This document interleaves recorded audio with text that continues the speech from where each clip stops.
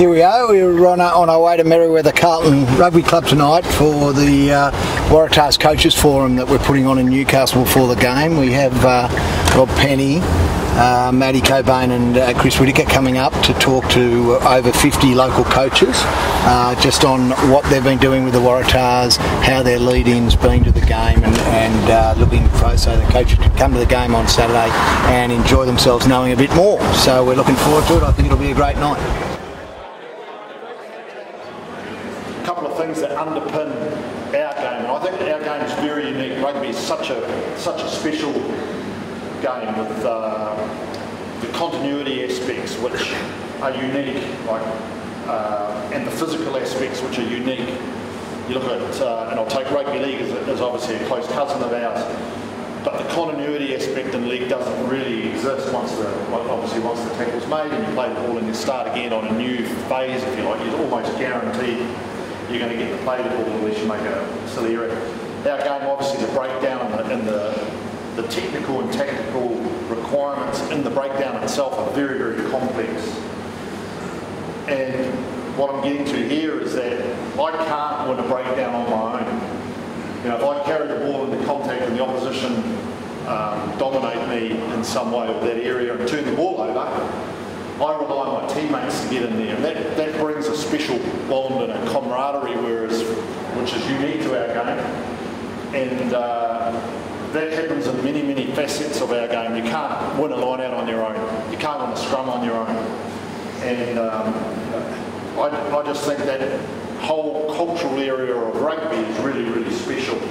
And what I was alluding to there is about how you develop that in your group. Um, you know, nurturing it because generally you'll find that there's a few mates and, a, and there's a few outsiders come in. How can you build those 15 individuals that take the field of the 25, 26 boys you've got in your squad and to be far stronger as a collective unit than they are the combined total of the individuals. And that's through obviously a bit of goal setting for the season, a bit of inspiration, I guess, from time to time. Um, but making sure that they're having fun, enjoying themselves. And they're inspired by each other are doing. They love turning up on a Tuesday and Thursday, having a lot of fun. And on the back of that, you, you're starting to get growth in your performances, and, and the men are really enjoying themselves, and the women are really enjoying themselves and what they're up to.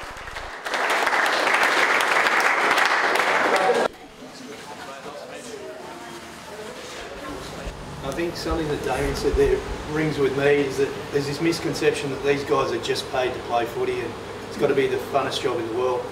Damien, just, just want to give the guys a bit of an insight into what your week looks like because from my understanding, it's you're paid to turn up and train and get into that mindset to train, grueling physical sport all week. The reward at the end of the week is to play. What's your week look like typically?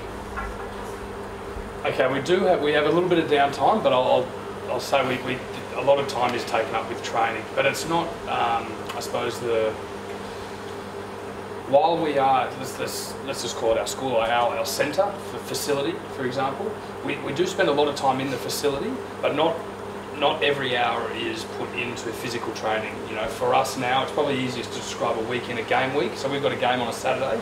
Uh, on our Monday, the beginning of your Monday, a good three to four hours will be taken up with in terms of your recovery. So that's using, you know, your medical staff, your massage, that kind of stuff, um, to prepare your body to, to almost go through your week again so you can play on the weekend.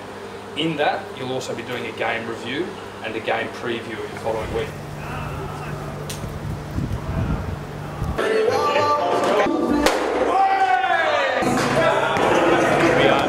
Air's cleaner. Air's cleaner. Fresher. just running, running through some of our plays and you know just visualising it. Have you played here before? Yeah, a few times. Played it a few times. Won some, lost some. Oh, it's awesome. How good is it? Um, you know, boys got a few phone calls from their family members, you know, out in the rural areas, uh, really happy and, and glad that, you know, the rain's come out. So, you know, while we'd uh, like to play in uh, fast dry conditions, you know, it's great for the uh, community. Yep.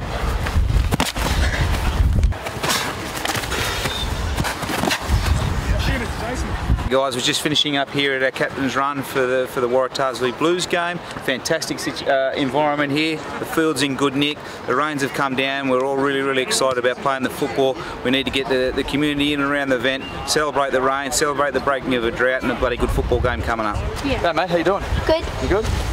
Hey, good. How you doing, mate? I met the Waratahs at the SCG2 yesterday. Oh, did you? Yeah. How old were you then? Um, eight. Yeah, okay. Sorry, Mike, can I get a photo of you? Yeah, yeah, sure. Jump in, boys. These guys with the win. I'm not sure. Sure, bro. How you doing? Good. What do we got? What are we? Oh yeah, oh yeah. It's barbarians. Yeah. Did you uh, you guys been on any trips yet? Port Macquarie? Um, Cost Harbour. Coffs Harbour. Yeah, that's where it is every year. So good. You go any good? Yeah. We won it. What club do you play for normally? The Wanderers. Good man. Have you played in the um, Harry Johnson Holmes Cup? He's about to start it up. It's the sevens comp. 2021. It's a sevens comp. Out, outside backs only. Harry Johnson Holmes Cup. Yeah. The way I know that is because my dad told me that you um played for the Wanderers. Yeah, yeah. Don't worry. You wouldn't know it either if uh, he didn't. Yeah, he's, he's on the, all the record, bloody record balls. Um, uh, yeah. ABC Newcastle going to promote the game uh, with Craig Hamilton and a few. See what happens. I think I've got a sign in here. You want to know what the date is?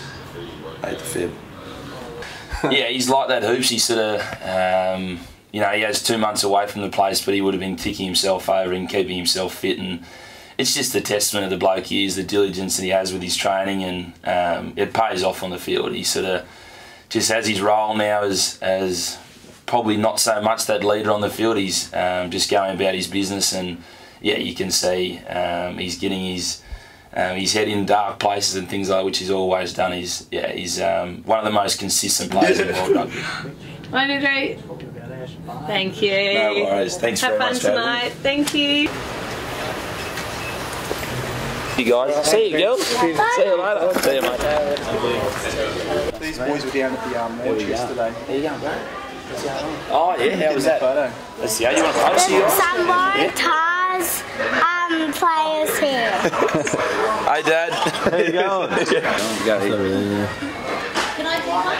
Yeah, good one. No, she's It's a wild old signature. That's okay. Good promotion. I'm concussion.